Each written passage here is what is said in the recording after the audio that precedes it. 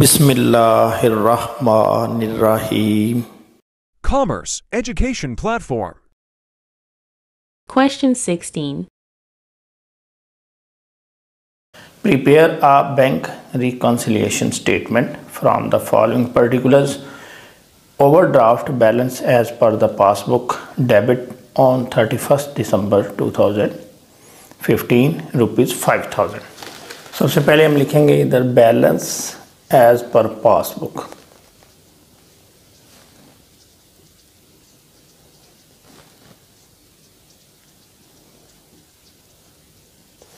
और उसने हमें बताया है कि ये डेबिट बैलेंस है। हम इधर लिख देंगे डेबिट। Five thousand. इसके साथ ही यही बैलेंस आपने पासबुक में लिख देना है। डेबिट बैलेंस है, डेबिट साइड पे लिखिए। फाइव थाउज़ेंड अब हम इस बुक को डील कर रहे हैं पासबुक को। तो आपने अपना फोकस इधर ही रखना है पासबुक के ऊपर। Interest on overdraft charge by the bank for half year rupees two seven five debited in the passbook only देखिए, हमारा बैलेंस डेबिट चल रहा है पासबुक के मुताबिक। अनफेवरेबल है, यानी हम कर्ज़े में जा रहे हैं। बैंक ने इसी कर्ज़े के ऊपर ये इंटरेस्ट चार्ज किया तो जब भी बैंक इंटरेस्ट चार्ज करता है तो हमारे अकाउंट को डेबिट दे देता है। तो बैंक ने अपने पास हमारे अकाउंट को डेबिट दे दिया 275 से। ये मैंने डेबिट साइड पे लिख। अब देखें, ये चीज़ सिर्फ़ इधर हुई है, इधर नहीं हुई। इधर अगर डेबिट थी तो इधर क्रेडिट होनी थी, लेकिन नहीं हुई। और ये बुक जो है, हमारे कंट्रोल में नहीं है। ये कस्टमर के पास है। हमने पढ़ा है कि जो चीज़ हमारे पास है हमारे पास है। दूसरे के पास वो चीज़ नज़र नहीं आ रही। अब उसको तो हम नहीं कह सकते, ऐसा करो तो हम अपने पास रिवर्स कर लेंगे। अब ये 275 इस बुक में डेबिट है और हम बुक भी यही कर रहे हैं तो इसको हम रिवर्स कर देंगे। ये पहले डेबिट साइड पे लिखी हुई थी, इसको हम क्रेडिट साइड पे लिख देंगे। 275 two cheques for rupees seventy five hundred and rupees 5000 paid in on 30th December 2015 were not credited by the bank. Bank में ये क्रेडिट नहीं हुआ। कस्टमर ने क्या किया? ये चेक जमा कराए थे बैंक में। उसने अपने पास लिख लिए। उसने डेबिट साइड पे लिख लिए। जब भी कस्टमर बैंक में कैश जमा कराता है या चेक जमा कराता है, वो बैंक को डेबिट कर लेता है। बैंक डेबिट और अगर वो चेक डायरेक्टली डिपॉजिटेड हैं तो पार्टी से लेकर सीधे बैंक में चले गए और पार्टी का नाम क्रेडिट कर देते हैं। अगर कैश जमा कराया है तो बैंक डेबिट और कैश क्रेडिट ये एंट्री पास की जाती है जब भी बैंक में चेक या कैश जमा कराते हैं। तो उसने जब चेक जमा कराए बैंक में, उसने फ़ौरन अपने पास डेबिट कर लिया। अब ये हमारे पास क्रेडिट नहीं हो रहा। Not credited by the bank अब ये काम कस्टमर के पास हो चुका है डेबिट हमारे पास क्रेडिट नहीं हुआ। तो अब हम क्या करेंगे? जो काम दूसरी पार्टी ने किया हो, वो हम कर लेंगे।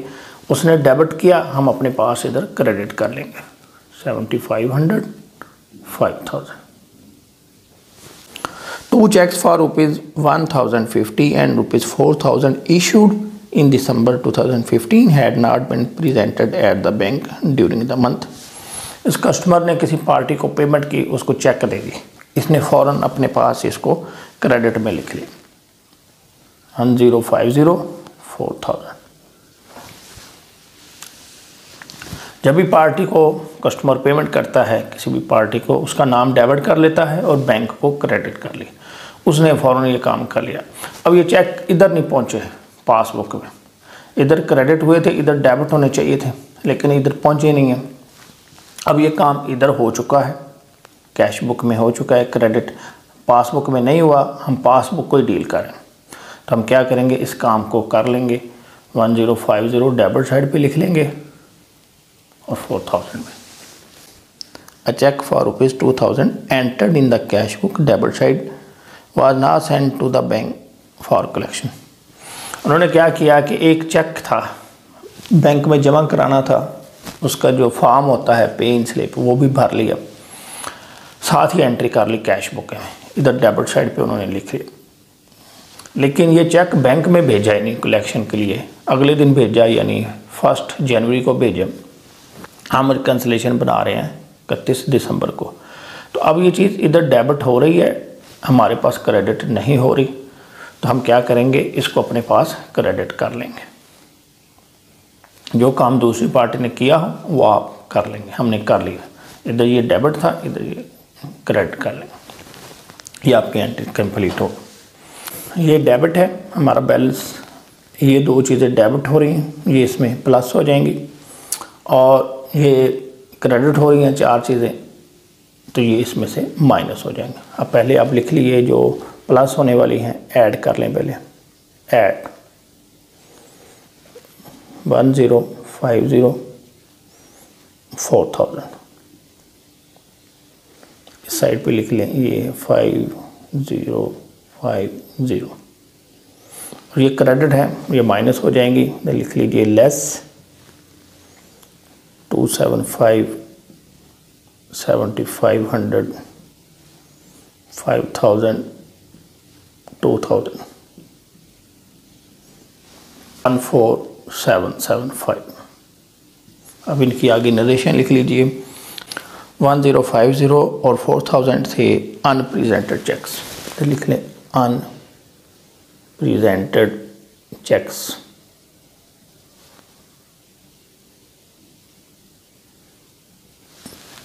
two seventy five था interest charge by bank interest debited by bank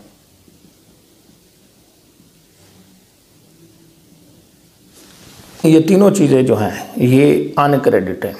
यानी कैश बुक में ये डेबिट हो चुकी थी पासबुक में क्रेडिट नहीं हुई। इसको आप लिख सकते हैं अनकलेक्टेड चेक्स या अनक्रेडिटेड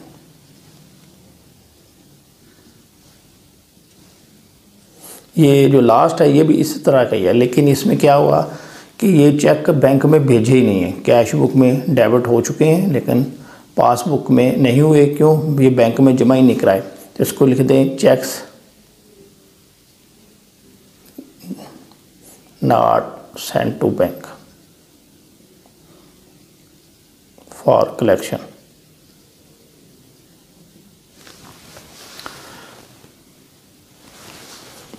अब ये आपका डेबिट बैलेंस है। ये चीज़ें भी डेबिट हो रही हैं।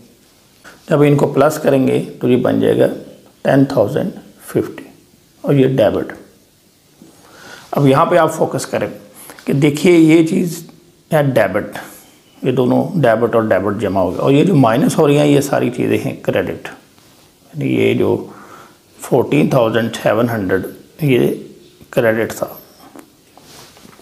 अब डेबिट जो है, ये कम है और क्रेडिट जो है वो ज़्यादा है। तो हमारा जो बैलेंस है फिर चेंज हो जाएगा पासबुक में, यानी क्रेडिट बैलेंस आ जाएगा।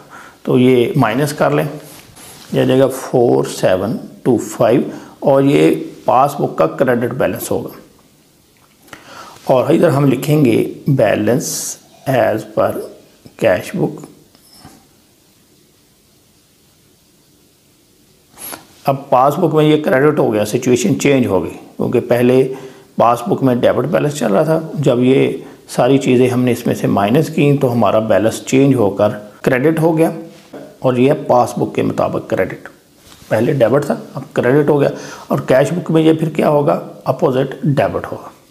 तो यानी इस क्वेश्चन में ये देखिए, ऊपर भी आपका डेबिट लिखा हुआ आ रहा है और नीचे कैश बुक के मुताबिक भी डेबिट लिखा हुआ आ रहा है। और रीज़न क्या है कि यहाँ आकर सिचुएशन चेंज होगा।